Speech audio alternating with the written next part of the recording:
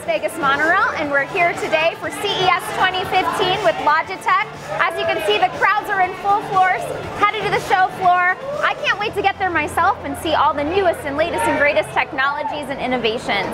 And whether you're here for CES or any other show or any other adventure, the monorail is here 365 days to take you where you want to go.